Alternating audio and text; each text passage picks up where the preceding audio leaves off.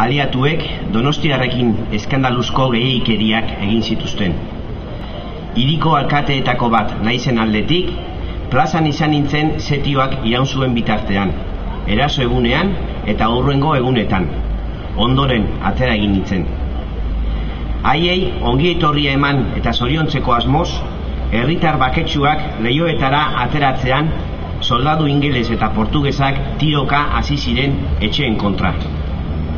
Aliatu eta ustez lagun ziren haiek horrelako jokabidea agertzea are eta zitalagoa irutu zitzaidan, erasoaldian etzai frantzesekin errukia eta eskuzabaltasuna erakusten ari zirelako, tratu gizakoia emanez, baita armak eskuan harrapatzen zituztenean ere. Frantzesek plazatik alde egin gabe oraino, tropa aliatuak dena lapurtzen eta txikitzen hasi ziren. Herritarrak egurtu, batzuk sakitu eta besteak hil zituzten. Pertsonen nolakotasunari, izaerari, adinari, sexuari edo egoerari begiratu gabe. Denak ikaratuz.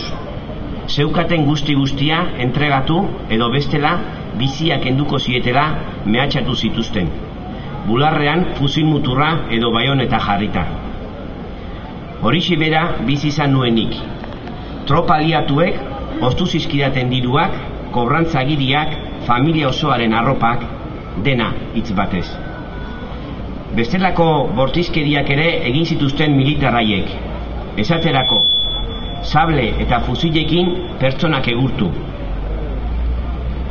Neu alkatean nintzela jakinda, biziak entzeko mehatxua egin ziaten maiz.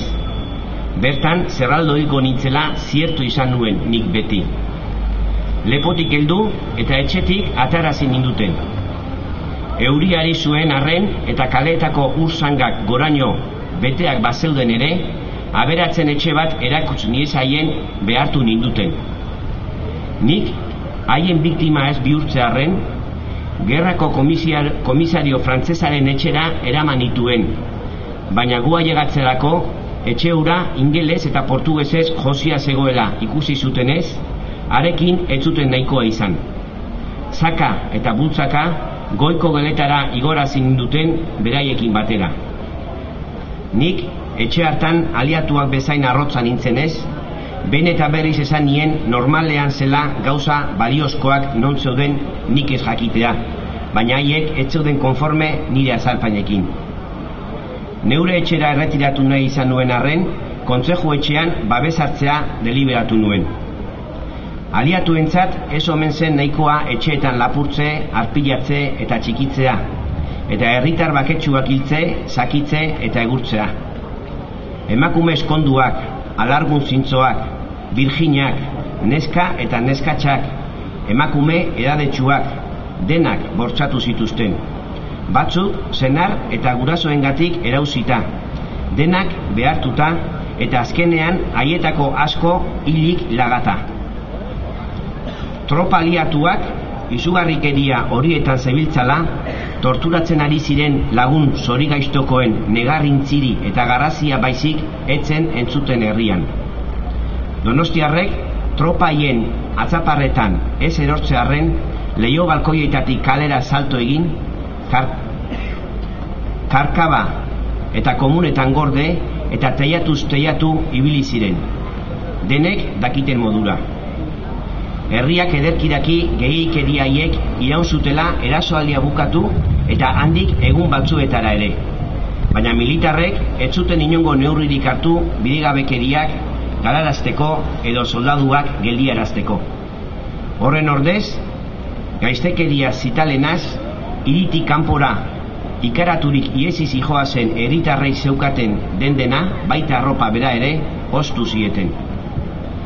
Gehikeria horiek, gainera, buruzagiek baimenduta omen zeuden.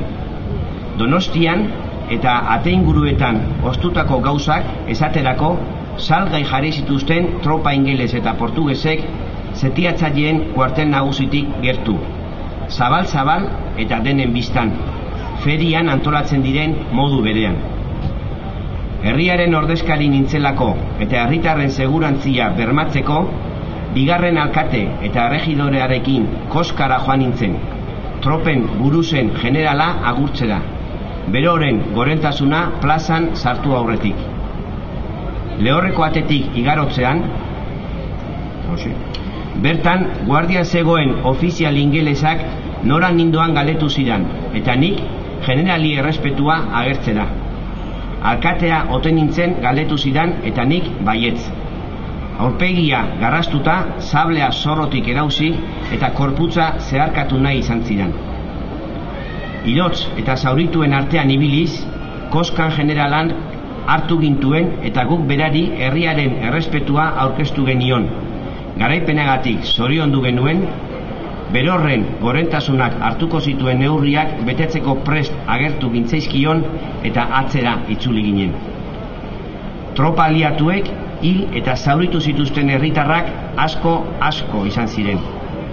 Hilakoen artean, Domingo Goikotxea jaun presbiteroa, Xabier Artola alarguna, Graziana Beidakar, Mari Carmen Etxenagusia, Carlos Llanora, Juan Navarro, Pedro Zipitria Jostuna, Jose Magra, Bi Maixu, Txokolata Gile, biak aita familikoek, familikoak. Haietako bati, korputza alde zulatu zioten sablez. Eta lurrean, odoltsu zen emaztearen eta semeala bat txikien aurrean. Bestea ere, emaztearen aurrean hiltzuten.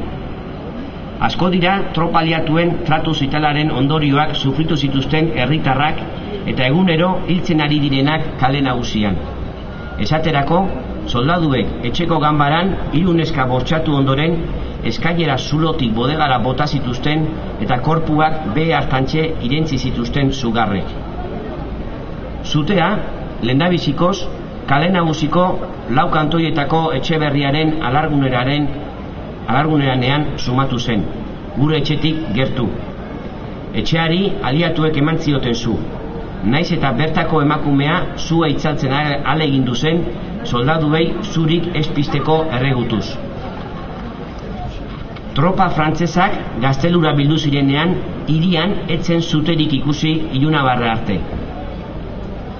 Horra maizu bati aditu diot bere aurrean tropa liatuek etxe bateko zua itzaltzea galarazi ziotela. Etxabe arotzari zua eteteko zeraman aizkora eskutik erauzi nahi izan omentzioten militarrek. Ark buru egin eta azkenean beste etxe batera iezi joan behar izan zuen soldaduek hilez esaten. Gaztelua errenditu eta handi lauzpabost egunera ere, aurreko egunetako gehiagikeria eta bortzizkeriak neurri handi batean jarraitu zuten. Nabarmena esaterako, Elizaldaren etxe ondakinetatik burdina eta azukre karga bat egun argiz lapurtze ura. Frantsesek etxeetara granada, bomba edo bestelako gauza zu eragilerik bota zutenik nik ez dut ikusi. Ez da entzun ere, gaztelura bildu ondoren ez zuten disparatu plazara. Donostiako plazan eginiko txikizio eta neurri gabe keriengatik tropa alituetako gizaki bakar bat ez dute zigortu nik dakidala. Zetiatzaileek eragindako zua piztu aurretik irian ziren bosteun eta larogeita amairu etxeetatik hogeita amasei baizik ez dira salbatu. Gehienak gaztelupe aldean daude eta gainerakoak arraiz, arraizei itxazita. Erdialdian ez da etxerik tente geratu. Bueno, hau beraz